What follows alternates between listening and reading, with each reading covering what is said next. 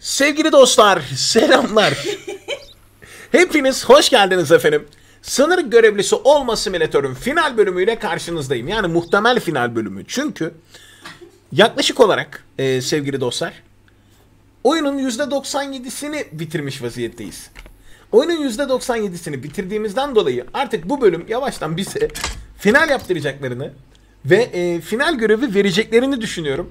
YouTube'dan izleyenler biliyorsunuz bütün simülasyon oyunları Samet Güngör Light YouTube kanalında yayınlanıyor. Samet Güngör Light'a abone olmayı ve videoyu beğenmeyi ihmal etmeyin lütfen. Şimdi bir iki tane kaçakçımız var. O bir iki kaçakçıyı yakaladıktan sonra artık final görevi verilecek. Siyah araba ve El Barak'tan birileri. Yani adamın camının kırık olması bizim için bir anlam ifade etmiyor efendim.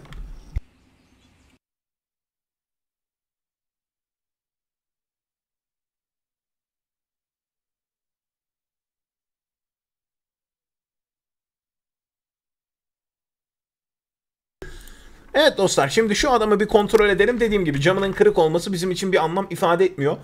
Akaristan vatandaşı ama 30 yaşından küçük olanları almıyoruz. 30 yaşından küçük olanları almadığımız için giriş yönetmeliklerini ihlal ettiğinden otomatik adamı almama hakkımız var. Ve ee, kardeş senin araba ne öyle ya? Eksik tamponu var, kırık camı var, eksik aynası var. Abo daha hiçbir bilgisini kontrol etmeden korkunç bir iş yükü var dostlar. Korkunç bir iş yükü. Eyvallah farlarda falan bir sıkıntı yok gördüğüm kadarıyla. Bir kırık cam daha mı var? Bunun kaçakçı olma şüphesi yok. O yüzden çok fazla üstünde durmuyorum. Tamam. Herhalde arabanın eksikleri bu kadar. Ee, eksik tampon, eksik ayna ve kırık cam. Okey giriş yönetmeliklerinden zaten yakıyor eleman, yatıyor eleman. Ee, Azar 5 arabasının adı doğru. Efendim az önce başladık. Arabanın ağırlığı doğru. EKM 0462XY bu doğru. Tamam. Yani kayıt numarası doğru. Arabasının e, plakası doğru. Jegor Bondar, Jegor Bondar, Jegor Bondar, Jegor Bondar. Tamam. İsimle alakalı durum doğru. Sadece şimdi bir Akaristan vatandaşı olarak taşıt kartını kontrol edeceğim. Ondan sonra bir e, hemen şeyi kontrol edeceğim. Pasaport mührünü kontrol edeceğim. Bununla beraber pasaport numarasını da kontrol ettikten sonra tarihlerimiz tamam. Tamam yani bu adam tamam. Bu adamın tipi falan da uyuşuyor muhtemelen. Aynen ya oyun giriş yönetmeliklerini unutup unutmadığımıza bakıyor muhtemelen. Hocam daha var. Senin daha yükü indirip kontrol edeceğiz. Dünyalarla geliyorsun. E, Nasıl olsa sınırdan içeri almayacağım. Hani bunları yapmak zorunda değilim gibi düşünebilirim ama e, tam yaparsam da arkadaşlar kusursuz incelemeden 200 dolarlık maaş ikramiyesi alıyorum. O yüzden elimden geldiğince her şeyi tam yapmaya çalışıyorum. Yük doğru mu? 4 patates çuvalı, 3 balık varili, 9 çimento, 3 elma sandığı. Tamam. Bu arkadaşın koşinmentosu da doğru. Hocam şunları bir şey yapar mısın?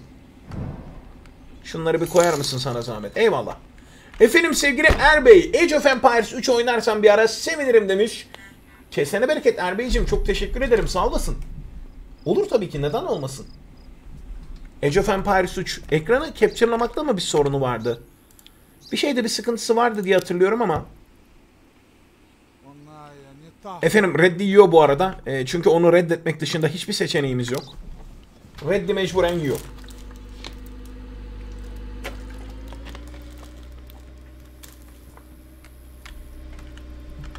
Bir iki tane kaçakçı kaldı. Onlar da bu kontrol noktasına gelecekler gün içerisinde muhtemelen. Kusursuz inceleme. Çok güzel. Evet zaten hani belliydi. Şimdi oyunda parlamento binasına saldırı düzenlendiği için yaşı düşük olan Akaristan vatandaşlarını içeri almıyoruz. 30 yaşından düşük olanları. El Baraklı. Abi in. İn in in in in in in in in in. Sen kaçakçısın tamam. İn paket servis hocam. Mapushanede iyi şanslar. Adamın her şeyi tam ama dediğim gibi efendim. Giriş yönetmelikleri. Giriş yönetmeliklerini ihlal ettiği gerekçesiyle almadık adamı. Bu da kaçakçıydı. Yani El Barak'tan bir tane kaçakçı geleceğini biliyorduk. Bir tane de siyah araba gelecek. Muhtemelen şu bile olabilir o herif. Şimdi bu adamın sakladığı kaçak malları buradan bir söküp almamız lazım. Ne kaçırmaya çalışıyor acaba? Cephane. Öh artık buraya nasıl cephane sıkıştırdın ya? Silah kaçakçısı eleman da. Çok yaratıcı gerçekten yani. Hava filtresinin altına nasıl mermi sakladı hayret. Aprens, e, Prime'ın avantajıyla aramıza katılıyor. Hoş geldin Aprens, merhabalar. Desteğin için çok teşekkür ederim. Sağ olasın. Aa, merhaba. Deterjanlardan çıkana bak. El bombası falan var böyle deterjanların olduğu yerde. Birader manyak mısın ya? Eleman manyak galiba usta.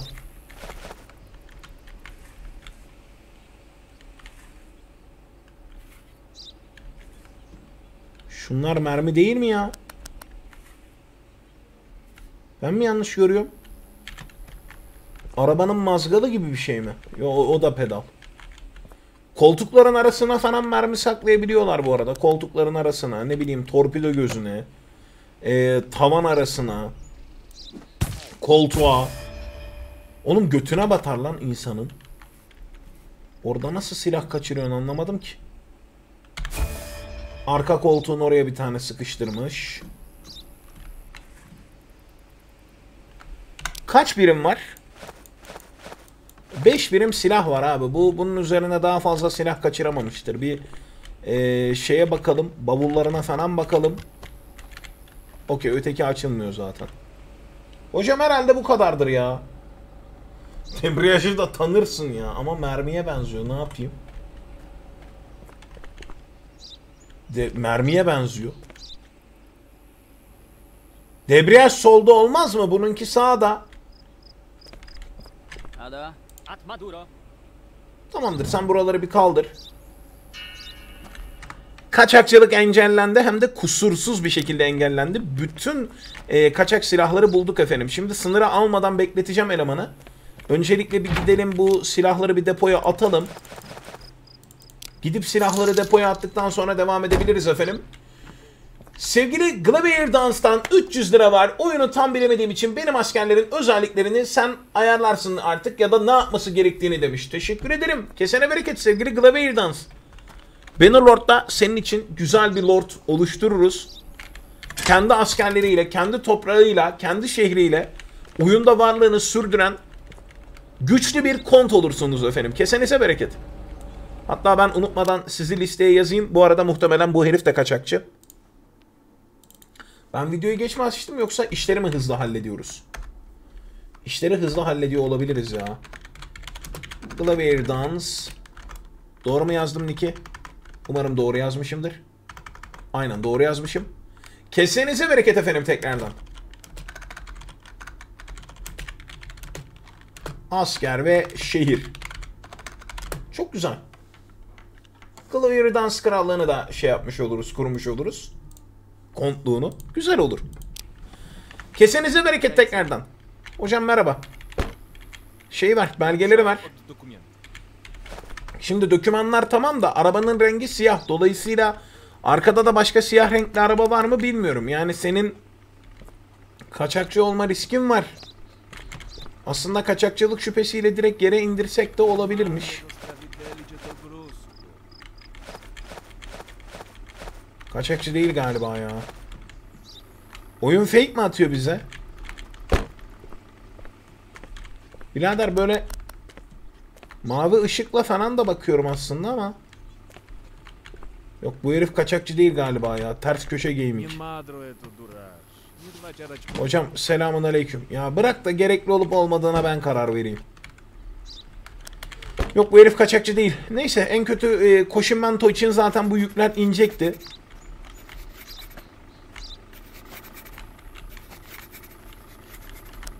Bir de şunların üzerine bir bakalım. Şunların üzerinden bir geçelim. Ama yok ya bu herif kaçakçı değil. Ne bileyim siyah renk araba deyince ben de kaçakçı olarak algıladım. Kaçakçı olarak aradım elemanı. Birader arabana geri dönebilirsin sen kaçakçı değilsin ama Akaristan vatandaşısın ve yaşın 19 abi yaşı 30'un altındakileri almıyoruz. Dolayısıyla sen burada giriş yönetmeliklerinden yattın. 8 gübre, 4 deterjan, 1 klozet, 1 çamaşır makinesi diyor. Koşun menton doğru. Oleg Sorokin, Oleg Sorokin, Oleg Sorokin. İsimler doğru. Pasaport numarası doğru ama bu Akaristan'ın şey mi mührü mü ya? 4 Haziran 15 Haziran tamam giriş doğru. Tipi doğru. Arabası Zavet miydi? Grazduk'tu sanki bu araba ya. Araba hatalı galiba. Arabanın Grazduk olması lazım. Zavet değil hocam sen araba tipini yanlış vermişsin. Araç tipin yanlış. Kayıt numaranı bilmiyorum da. DLB 7759, DLB 7752. Senin kayıt numaran da yanlış. Bu araba Grazduk'tu çünkü. Belirtilen ağırlığın altında sıkıntı yok. Mührü ve kaşeyi kontrol edelim. Ad soyad tamam. Bitiş tarihi tamam. Pasaport numarası tamam. Fotoğraf tamam. Koşun mentosu tamam. Ee, diğerlerine bakacağız. Ee, şu agaya bir eşyaları yerleştirtelim. Onur abim hoş geldin. Nasılsın abi? Keyifler yerindedir inşallah.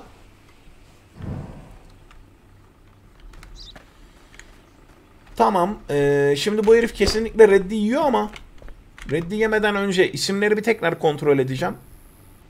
Oleg, Oleg, Oleg, Oleg.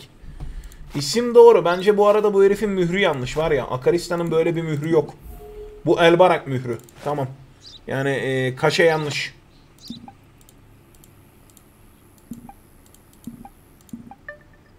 Kaşe yanlış ama kimlik şeyi doğru.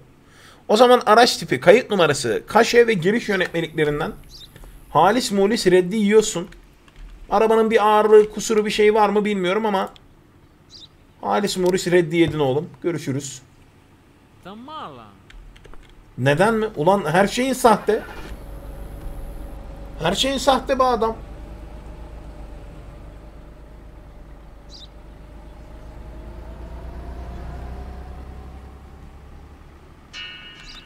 Geçerli red. Kusursuz inceleme değil. Ee, sürücü belgesinin rengi de mi hatalıydı? Yo. Pasaportun da mı rengi var ya? Oğlum pasaportta renk yok diye biliyorum ben.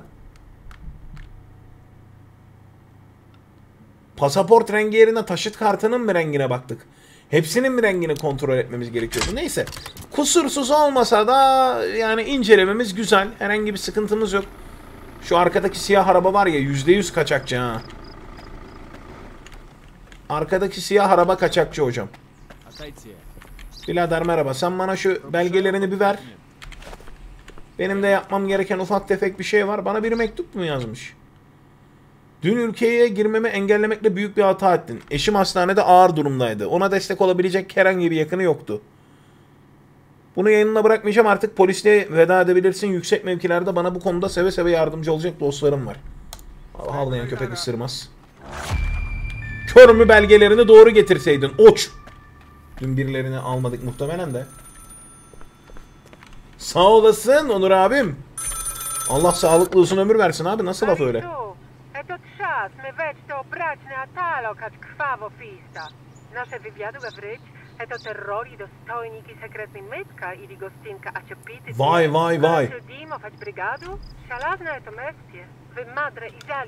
na. Eyvallah. Eyvallah. Evet sevgili arkadaşlar. eee, artık ülkeye karşıt olan Akaristan'ın isyancılarına son vuruşu yapmanın zamanı geldi. Dediğim gibi zaten bu muhtemel final bölümüydü. Bak ama şu olursa gerçekten çok fena şey olurum yani. Çok fena tilt olurum. O kadar yaptığımız şeye ve gösterdiğimiz üstün başarıya rağmen hakikaten herifi almadım diye beni attırırsa sınırdan yani ne bileyim sonu böyle ilerlerse çok fena olmaz mı ya? Ola da bilir aslında. Belki burada hani bir mesaj da verilmeye çalışılıyor olabilir. Gerçi bu tarz mesajları sevmem de yani oyunlarda ve sinematik filmlerde bir mesaj kaygısı verilmesi benim hoşuma gitmiyor açıkçası. Hani ders çıkarmak istesem senin oyununa mı kaldım da? Bilmiyorum öyle olursa şahsen bir parça bir üzülebilirim ya.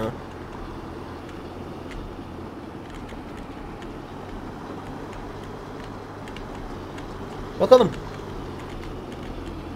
Sevgili dostlar yani yaklaşık 10-15 saatlik bir save dosyasının içerisindeyiz. Ve Ak koyun kara koyun bu bölümde belli olacak. Hadi bakalım sarhoş ayı hanını ele geçirmişler. Binaya gireceğiz ve onları ortadan kaldıracağız.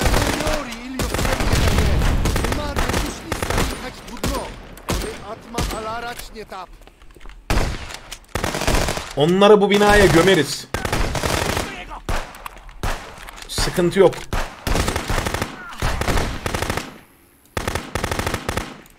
Bizim kadar donanımlı değillerdir.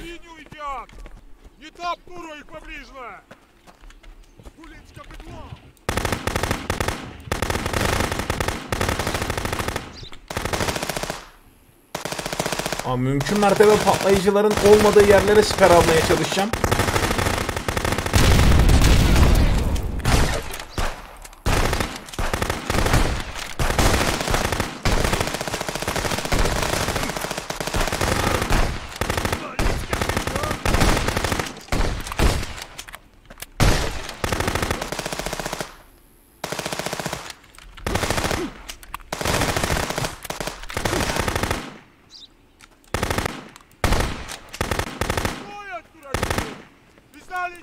mamy służebników! Uliczka!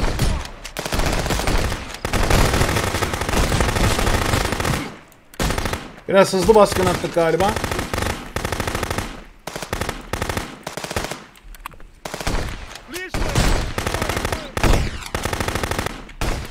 Acık bir siperme alsaydım.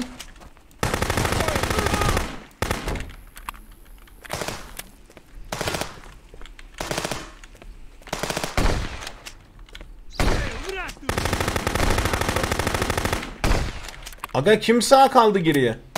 Bu sarhoş Aya Hanım'da şey yaptığımızı hatırlıyorum bu arada. Hatırlıyor musunuz bilmiyorum. Burada bir sorgulama yapmıştık. Böyle ajanlık gibi bir şey yapmıştık. Dedektif olmuştuk. Katili aramıştık.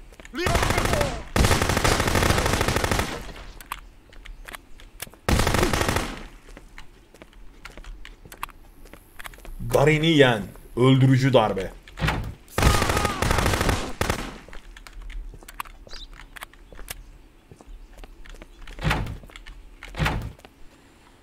Dolapla gizli bir geçit açıldı ortalık. А я знаю, E arkamda benim dünya kadar adam vardı. вы позмислач, а достановка нашева революция? Tam olarak düşündüm bu arada. Утрошная Ачтфаровна. Игорь Акаров – это хенокриминал за братство. Преместие до истории. Садачло вели, что это не тап. Диена от мамените Андиня.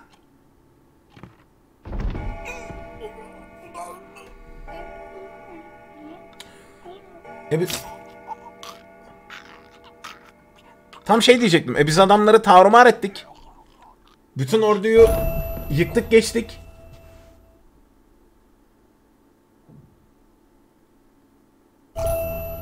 Ve ben içeri tek daldım. Arkadakiler gelmedi. Aynen dışarıda donut yiyorlar galiba.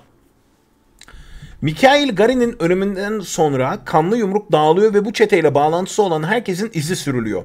Ve çalışma kamplarına kapatılıyorlar. Igor Akarov işçi sınıfını ülke dışında örgütleştirme planı gerçekleştiriyor. 16 Haziran 1981 yılında Büyük Kurtuluş Ordusu sınırları geçerek güneydeki kapitalistlere savaş ilan ediyor. Ne alaka bilmiyorum. Bana bunu sinematik olarak anlatsaydın ya. Ee, Boris Obrenkov günlerce süren işkenceler sonunda çetenin bütün eylemlerinin kanlı yumruk tarafından yönetildiğini iddia ediyor. Son olarak ise e, Katrikat'taki bulunan polis üstünde sorgu odasında ölüyor. Boris'in kim olduğunu bilmiyorum bu arada. Boris Obrenkov. Grigori Belov topladığı bilgilerin isyancı eylemlere karşı açılan davada anahtar rol oynadığı ortaya çıkıyor. Hizmete devam edemeyeceği için erkenden emekliliğe ayrılıyor. Törenle 5 Haziran 198 yılında 198 yazmışlar bu arada. Stekan askeri mezarlığına defnedildi. O herifi de tanımıyorum. Ben bunların hiçbirini tanımıyorum. Piotr Kavka. Bu şeydi galiba. e, kanlı yumruk tarafından kaçırılan başkanlardan biriydi. Başkente döndükten sonra kanlı yumruğun saklanma yerlerine yapılan saldırıların gerçekleştirilmesine yardım eder ve bunun sonucu olarak devlette üstün hizmet madalyası ile ödüllendirilir. Uzun yıllar sonunda bakanlığa terfi ediyor. Şimdi ben ne oldu anlamadım. Bütün etkileşime girdiğimiz adamlar mı? Aa bu Timur. Timur Korchenko taş ocaklarında 40 yıl boyunca ağır çalışmaya mahkum edildi. 84 yılında meydana gelen kamptaki isyan esnasında yaralandı ve zorlukla hayatta kaldı. Son olarak ülkeden kaçtı ve gizli gizli tek başına yaşamaya devam etti. Asla devrimin düşüşünü kabullenmedi diyor kendisi. Gavrilov son günlerini isyancılardan tamamen kurtulmayı umarak hapishanede geçirir. 5 Haziran 1982 tarihinde kurşuna dizilerek öldürüldü. Moruk bunlar kim? Ben hiçbir bok anlamıyorum şu anda. Yani adamları basmış olmamıza rağmen biz mi kazandık yoksa kayıp mı ettik? Yani her türlü özgürlükçüler kazanıyorsa hiçbirini hatırlamıyorum ya. Her türlü özgürlükçüler, ayrılıkçılar kazanıyorsa yani isyancılar kazanıyorsa bana niye seçim yaptırdın ki? Günün sonunda bana iki satırla diyalog okutacaksan. Ama gerçi Timur kaçtı, zar zor hayatta kaldı falan diyor. Hiçbir bok anlamadım ya.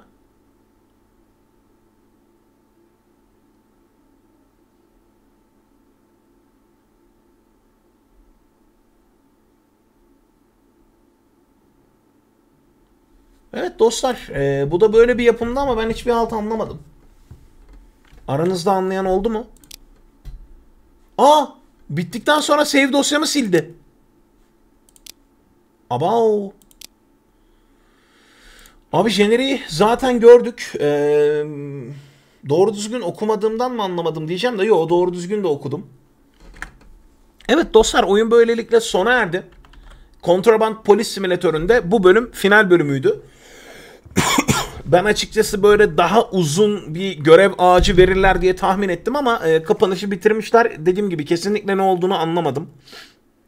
Ya 10-15 saatlik bir save dosyasında ilk etkileşime geçtiğim adamı elbette ki hatırlamıyorum ama ne oldu ne bitti bilmiyorum. Biz kazandık mı, kayıp mı ettik?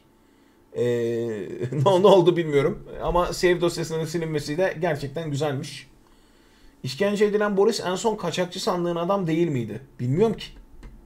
Neyse dostlar. Vakit ayırıp izleyen herkese teşekkürler kendinize. Çok iyi bakın. Esenlikle kalın efendim. Bay bay.